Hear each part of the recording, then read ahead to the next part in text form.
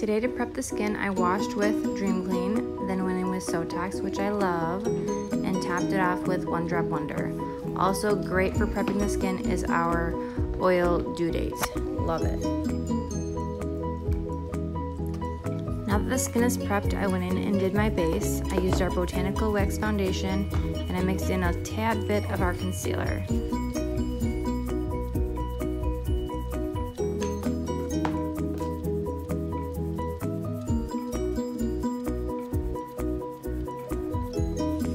As you can see, a little bit goes a long way. I like to mix them a little bit on the back of my hand and then apply to the face.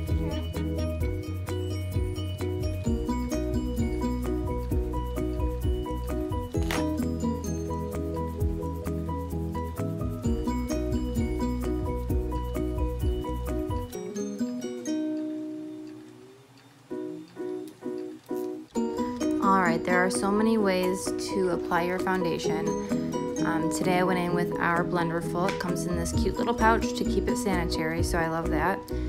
If you go in with a wet blender, you're going to get a lighter coverage. I wanted a medium coverage today. If you go in with a dry blender, you're going to have a more full coverage look.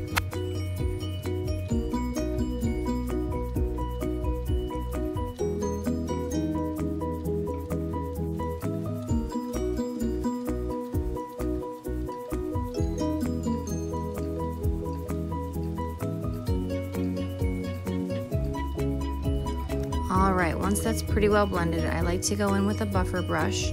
Just kind of hit all the edges and make sure everything's perfectly blended. Just makes everything a little bit more um, airbrushed and seamless when you do that.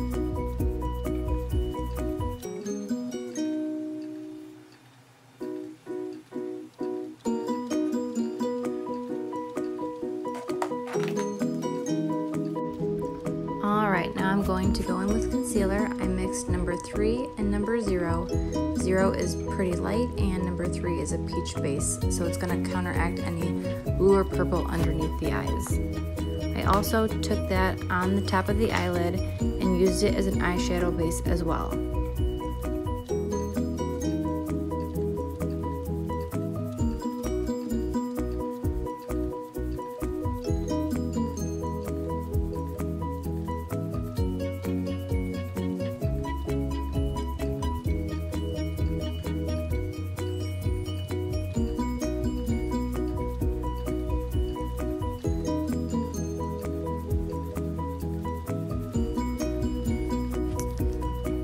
I just use my fingers to kind of rub that all in.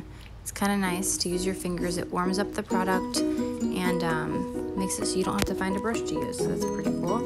And then I went over just some areas of redness that I needed a little bit of extra coverage. And then again, just taking a little buffing brush and buffing over all those edges and making sure everything's well blended.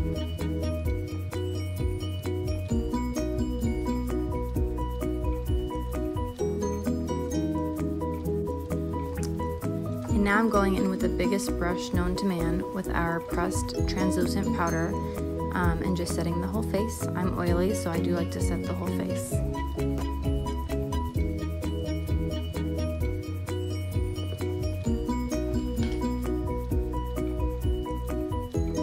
Now taking a smaller brush and setting the concealer underneath the eye with the same translucent powder and also the base on the eyelid. Putting the translucent powder to set the base on the eyelid is going to give you a smooth canvas to apply all your powder shadows to.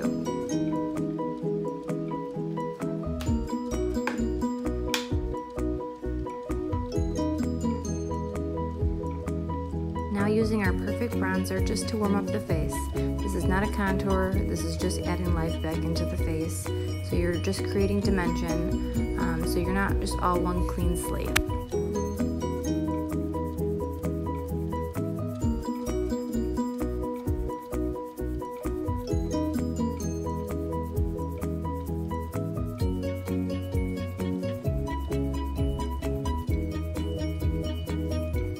All right, and that's it. Just an easy base, um, nothing crazy, um, just a nice, clear, clean skin look. All right, now you're ready to go in with eyeshadow and complete your look. I did a fun electric blue eyeshadow look.